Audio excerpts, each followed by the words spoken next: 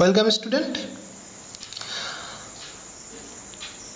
আজ আমরা problem number বারো, অর্থাৎ অধ্যায় নাম্বার সতেরোর বারো নম্বর প্রবলেম নিয়ে ক্লাস শুরু করব।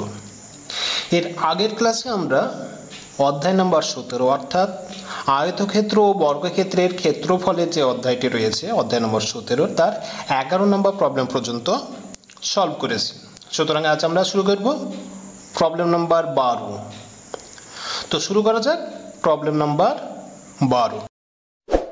Subscribe now and press the bell icon. Never miss an update. কি বলেছে প্রবলেম নম্বর বারোতে? আমাদের বাড়ি থেকে রাস্তার ওঠার পথটি দুই মিটার চওড়া। পথটি বাড়ির সামনের বাগানকে পাশের ছবি একটা ছবি দেওয়া রয়েছে ওকে একটা সুন্দর চিত্র দেওয়া রয়েছে। সেই অনুযায়ী দুটি খণ্ডে ভাগ করেছে বর্গাকার। প্রতি বর্গমিটার পাঁচশো টাকা হিসেবে পথটি তৈরি করতে যদি আট হাজার টাকা খরচ হয়, তাহলে বাগানের এক একটি বর্গাকার খণ্ডের দৈর্ঘ্য ক্ষেত্রফল কত? এবং বারটি যদি আয়তক্ষেত্রাকার জায়গাতে তৈরি হয়েছে, সেই আয়তক্ষেত্রাকার জায়গাটার প্রস্থ যদি চার মিটার হয়, তবে বারটির কত বর্গমিটার জায়গা নিয়ে রয়েছে? এটা আমাদের নির্ণয় করতে হবে। ওকে? তাহলে একটা ছবি রয়েছে, ছবিটা আঁকিয়ে দেওয়া রয়েছে। সেই ছবি অনুযায়ী আমাদের অঙ্কটা সলভ করতে হবে। ওকে তো আমাদের ছবিটা কীরকম রয়েছে একটু দেখার চেষ্টা করি। ছবিটা আমাদের একটা আয়তকার ছবি।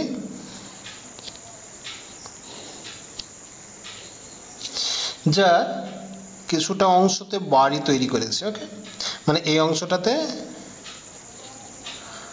বাড়ি তৈরি করা হবে। আর এখান দিয়ে রয়েছে একটা রাস্তা। যে রাস্তাটা সাইডে দুই পাশে দুটো বর্গাকার অংশ, এটা হচ্ছে রাস্তা। যেটা দুটো বর্গাকার খণ্ডে, এটা একটা বর্গাকার আর এটা একটা বর্গাকার খণ্ডে ভাগ করে দিয়েছে। আর তথ্য কি দেওয়া রয়েছে? রাস্তাটা দুই মিটার চওড়া। এটা হচ্ছে দুই মিটার চওড়া। ওকে আর বলা হয়েছে, প্রতি বর্গমিটারে পাঁচশো টাকা করে খরচ করে রাস্তাটা তৈরি করতে মোট আট হাজার টাকা খরচ হয়েছে। আমাদের নির্ণয় করতে হবে। প্রথমত, প্রতিটি বর্গাকার খণ্ড, অর্থাৎ এই যে সাইডে বর্গাকার খণ্ড দুটো রয়েছে, এটার ক্ষেত্রফল কত? এবং দ্বিতীয়ত, এই যে বাড়িটা তৈরি হয়েছে বাড়িটার কতটা জায়গাতে তৈরি হয়েছে ওকে এই বাড়িটা কতটা জায়গায় তৈরি হয়েছে আমাদের সেটা বার করে দেখাতে হবে। তো এখানে যে রাস্তাটা রয়েছে, রাস্তাটা দুই মিটার চওড়া এবং রাস্তাটা তৈরি করতে পাঁচশো টাকা হিসেবে মোট আট হাজার টাকা খরচ হয়েছে। তাহলে রাস্তাটার ক্ষেত্রফল আমরা ওখান থেকে পেয়ে যাব। এক বর্গ মিটারে পাঁচশো টাকা খরচ হয় এবং মোট খরচ হয়েছে আট হাজার টাকা। তাহলে রাস্তাটির ক্ষেত্রফল কত? রাস্তাটির ক্ষেত্রফল মোট যে টাকাটা খরচ হয়েছে, অর্থাৎ আট হাজার টাকা সেটাকে যদি আমরা প্রতি বর্গমিটারে যত খরচ হচ্ছে সেটা দিয়ে ভাগ করে দিই, তাহলে আমরা পেয়ে যাব মোট রাস্তাটির ক্ষেত্রফল। তাহলে ভাগ করো, শূন্য শূন্য কেটলো, পাঁচ দিয়ে পাঁচ, আট হাজার ছিল, পাঁচ আসতে সরি পাঁচ একে পাঁচ পাঁচ শক তিরিশ। ষোলো। তাহলে দেখলাম আমরা রাস্তাটির ক্ষেত্রফল ষোলো বর্গ মিটার। রাস্তাটির ক্ষেত্রফল পেয়ে গেলাম আমরা ষোলো বর্গ মিটার। এবার রাস্তাটার আমাদের প্রস্থ বলে দেওয়া রয়েছে, প্রস্থ দুই। প্রস্থ দুই, তাহলে দৈর্ঘ্য কত হবে? আমাদের প্রতিবার এত টাকা খরচ হলে প্রতিটি বর্গাকার খণ্ডে দৈর্ঘ্য আমাদের বার করতে হবে। তাহলে রাস্তাটার দৈর্ঘ্য? রাস্তাটির দৈর্ঘ্য দৈর্ঘ্য হবে কি ক্ষেত্রফল দেওয়া রয়েছে? আমরা ক্ষেত্রফলটা, রাস্তাটার ক্ষেত্রফল বের করলাম ষোলো বর্গ মিটার এবার দৈর্ঘ্য দৈর্ঘ্য ষোলোকে যদি আমরা প্রস্থ দিয়ে ভাগ করি, প্রস্থ আমাদের দুই মিটার চওড়া বলে দিয়েছে, অর্থাৎ দুই মিটার। তাহলে আমাদের হয়ে গেল আট মিটার। তাহলে রাস্তাটির দৈর্ঘ্য আট মিটার। এবার দেখো, রাস্তাটা দৈর্ঘ্য মানে এখান থেকে এতটা। এটা যদি আট হয়, তাহলে এই বর্গাকার খণ্ডের দৈর্ঘ্য আট, বর্গা, বর্গাকার মানে এটা যদি আট হয়, এটাও আট। অতএব প্রতিটি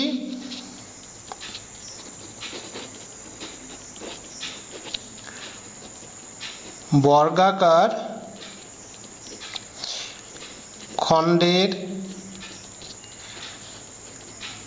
বাহুর দৈর্ঘ্য আট মিটার, কারণ রাস্তাটা যতটা লম্বা, প্রতিটি বর্গাকার খণ্ড দৈর্ঘ্য ঠিক ততটা হবে, কারণ একই সমান লম্বা। তাহলে প্রতিটি বর্গাকার বর্গাকার খণ্ডের দৈর্ঘ্য যদি আট মিটার হয়, তাহলে তার ক্ষেত্রফল কত হবে? ক্ষেত্রফলের যে ফর্মুলা আমাদের জানা রয়েছে, বর্গাকার খণ্ডের ক্ষেত্রফলের ফর্মুলা বাহু স্কোয়ার অতএব প্রতিটি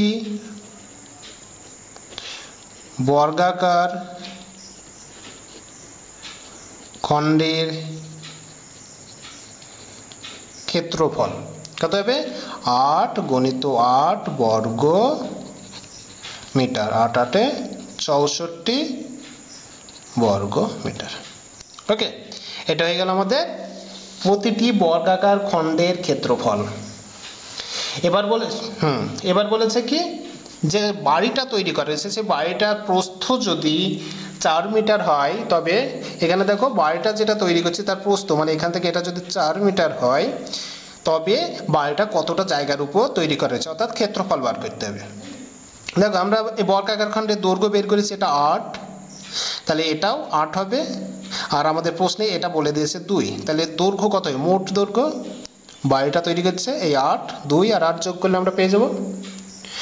ওকে, আট, দুই আর আট যোগ করি। তাহলে বাড়িটি তৈরি যে জায়গায় তৈরি করছে, তার মোট দৈর্ঘ্য।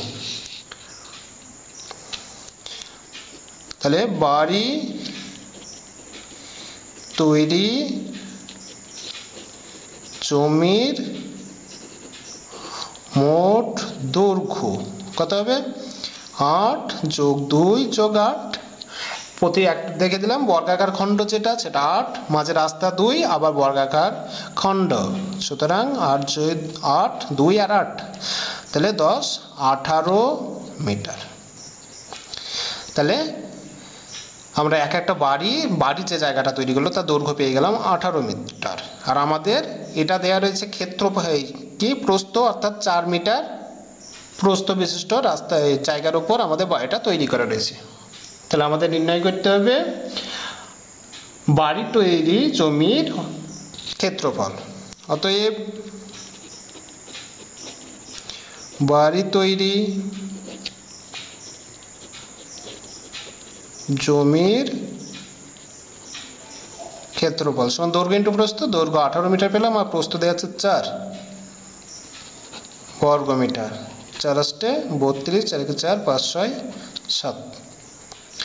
সুতরাং বাহাত্তর বর্গ মিটার হয়ে গেল আমাদের যে বাড়িটা তৈরি করেছে সেই বাড়িটার ক্ষেত্রফল। ওকে?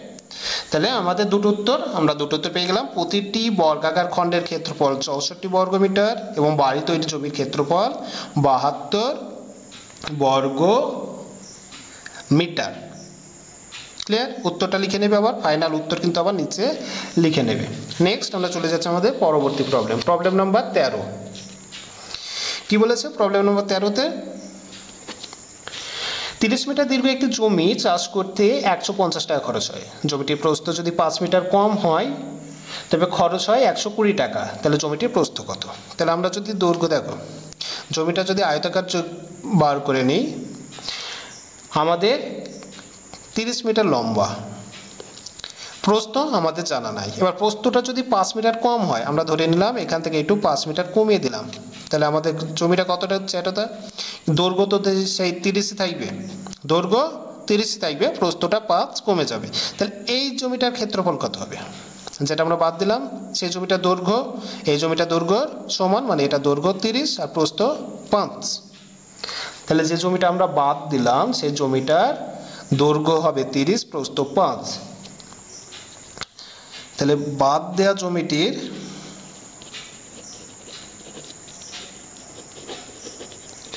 জমির ক্ষেত্রফল। কত হবে? দৈর্ঘ্য তিরিশ, প্রস্থ পাঁচ বর্গ মিটার। তিন পাঁচা পনেরোশো বর্গ মিটার। ওকে, প্রথমে জমিটি চাষ করতে খরচ হয়েছিল একশো পঞ্চাশ টাকা। এবার পাঁচ মিটার কমিয়ে দিয়ে যে জমিটা ছিল, সেটা চাষ করতে খরচ হলো একশো কুড়ি টাকা। তাহলে যেটা বাদ দিলাম, সেটা চাষ করতে কত খরচ হয়েছিল? অতএব এই যে একশো পঞ্চাশ বর্গমিটার চাষ করতে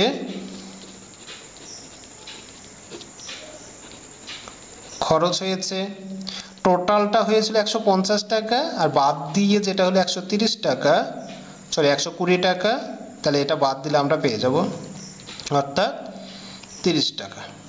তাহলে আমরা যে জমিটা বাদ দিলাম, সেটার জন্য এক্সট্রা তিরিশ টাকা খরচ হয়েছে। তাহলে আমরা যদি উল্টোভাবে লিখি, অর্থাৎ তিরিশ টাকা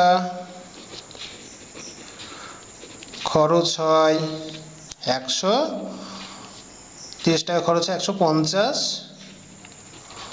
বর্গ মিটারে আমাদের কত টাকা খরচ হয়েছে মোট? একশো পঞ্চাশ টাকা।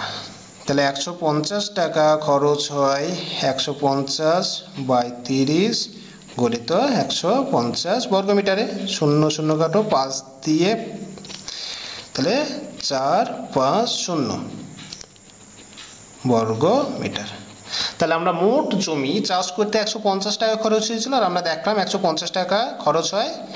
চারশো পঞ্চাশ বর্গমিটার জমি চাষ করতে। ওকে? একশো পঞ্চাশ টাকা খরচ হয় দেখলাম চারশো পঞ্চাশ বর্গমিটার জমি চাষ করতে, আর আমাদের বইয়ে বলে দিয়েছে একশো পঞ্চাশ টাকা খরচ হয় মোট জমিটা চাষ করতে। তাহলে মোট জমির ক্ষেত্রফল কত হবে? এটা। তাহলে মোট জমির ক্ষেত্রফল এটা যদি হয়, আর দৈর্ঘ্য আমাদের বলে দিয়েছে তিরিশ মিটার, তাহলে প্রস্থ কত হবে? ক্ষেত্রফলকে আমরা দৈর্ঘ্য দিয়ে ভাগ করে প্রস্থ পেয়ে যাব। অতএব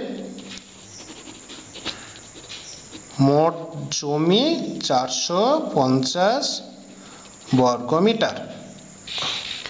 অতএব জমিটির প্রস্থ।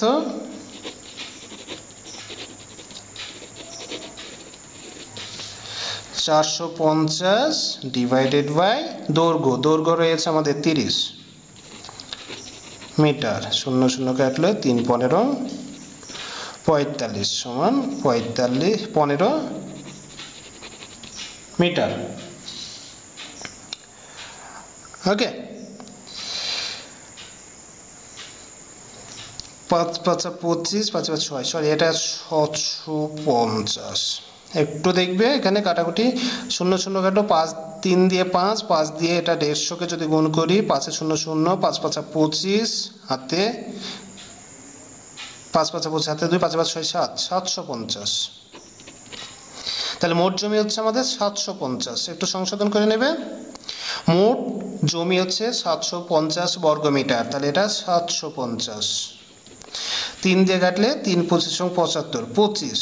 তাহলে আমাদের জমিটির প্রস্তাবে পঁচিশ মিটার। ওকে, এখানে আমরা পাঁচ দিয়ে একশো পঞ্চাশকে গুণ করতে একটু ভুলে গেছিল, তাহলে পাঁচ দিয়ে একশো পঞ্চাশ গুণ করলে সাতশো পঞ্চাশ, অর্থাৎ মোট জমি হচ্ছে সাতশো পঞ্চাশ বর্গ মিটার। তাহলে জমিটির প্রস্থ হবে সাতশো পঞ্চাশ ডিভাইডেড বাই প্রস্থ, অর্থাৎ তিরিশ দিয়ে ভাগ শূন্য শূন্য তিন পঁচিশ পঁচাত্তর, অর্থাৎ পঁচিশ মিটার।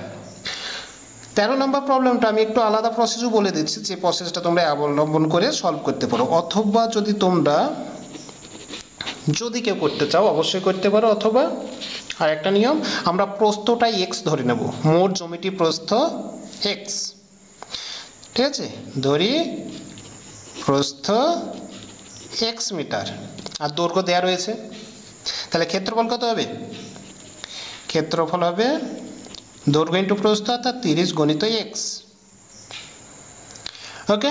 তাহলে প্রতি বর্গমিটারে খরচ হবে, প্রতি বর্গমিটারে খরচ মোট খরচ হয়েছিল একশো পঞ্চাশ বাই তিরিশ গণিত এক্স এটা হবে প্রতি বর্গমিটারে খরচ, এত টাকা। আর প্রস্থ যখন পাঁচ মিটার কমে গেল, কমে যাওয়ার পরে প্রস্থ কত হবে? এক্স মাইনাস পাঁচ। তাহলে ক্ষেত্রফল কত হবে? দৈর্ঘ্য তিরিশ রয়েছে, প্রস্থ এক্স মাইনাস পাঁচ গুণ। তাহলে মোট খরচ একইভাবে প্রতি বর্গমিটারে খরচ হবে একশো কুড়ি বাই তিরিশ গণিত এক্স মাইনাস পাঁচ। ওকে এবার এটা শর্ত ফেলে দিতে পারো। তাহলে শর্তানুসারে এই দুটো সমান, অর্থাৎ একশো পঞ্চাশ বাই তিরিশ গণিত এক্স সমান সমান একশো কুড়ি বাই তিরিশ গণিত এক্স মাইনাস ফাইভ। এবার কাটাকুটি করে, তিরিশ তিরিশ কাটো, শূন্য শূন্য কাটবে, পাঁচ তিন দিয়ে পাঁচ, তিন দিয়ে চার, অর্থাৎ তোমার হবে ফাইভ এক্স মাইনাস পঁচিশ সমান সমান ফোর এক্স বা এক্স সমান সমান পঁচিশ। আর এক্সটা ছিল আমাদের প্রস্থ, সুতরাং প্রস্থ পঁচিশ মিটার। তোমরা এটাও করতে পারো যদি চাও। ওকে বা আমরা যেটা করলাম, তেরো নম্বর প্রবলেম সেইভাবে সলভ করে নেবে। নেক্সট আমরা চলে যাব আমাদের পরবর্তী প্রবলেম প্রবলেম নম্বর চোদ্দ। কি বলেছে? প্রবলেম নম্বর চোদ্দোতে? প্রবলেম নাম্বার চোদ্দ। প্রবলেম নম্বর চোদ্দোতে বলেছে, একটি আয়তক্ষেত্রাকার হল ঘরের দৈর্ঘ্য তিরিশ মিটার, প্রস্থ আঠারো মিটার, ঘরটি মেঝে বাঁধাতে তিন ডেসিমিটার বাউবিষ্ট কতগুলো বর্গাক্ষেত্রাকার টালি লাগবে। ওকে খুবই সহজ। তাহলে মোট মেজের ক্ষেত্রফল বার করব এবং সেক্ষেত্রে এবং প্রতিটি টালির ক্ষেত্রফল বার করে যদি আমরা ভাগ করে দিই সহজে পেয়ে যাব। কিন্তু কি রয়েছে? ঘরের দৈর্ঘ্য মিটারে, প্রস্থ মিটারে আর টালির ডেসিমিটারে রয়েছে। তাহলে আমরা প্রত্যেকটা একই এককে নিয়ে আসব। তাহলে দৈর্ঘ্য আমরা ডেসিমিটারে নিয়ে যাই। দৈর্ঘ্য তিরিশ মিটার। তিরিশ মিটার মানে মিটারের পরে ডেসিমিটার মানে তিনশো ডেসিমিটার। প্রস্থ দিয়েছে আঠারো মিটার। মানে একশো আশি ডেসিমিটার অতএব মেজের ক্ষেত্রফল দৈর্ঘ্য ইন্টু প্রস্থ এত বর্গ ডেসিমিটার এটা হলো আমাদের মেজের ক্ষেত্রফল। এর প্রতিটি টালির ক্ষেত্রফল বার করো। প্রতিটি টালির ক্ষেত্রফল কত রয়েছে? তিন ডেসিমিটার বাহু বিশিষ্ট অর্থাৎ তিন গণিত তিন বর্গ ডেসিমিটার। অতএব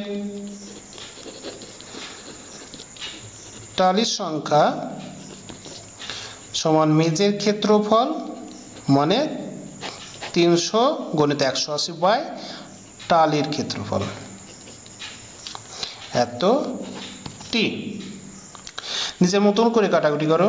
তিন দিয়ে একশো, তিন দিয়ে ষাট। তাহলে ছয়, একটা তিনটে শূন্য। ওকে, এত টি তাহলে ওই মেজে বাঁধাতে মোট কতগুলো টালি লাগবে? অতএব মেজে বাঁধাতে টালি লাগবে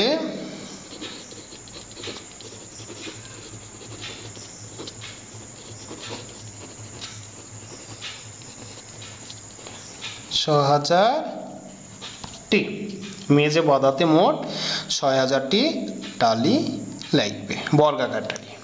ওকে? এ হচ্ছে প্রবলেম নাম্বার চোদ্দ।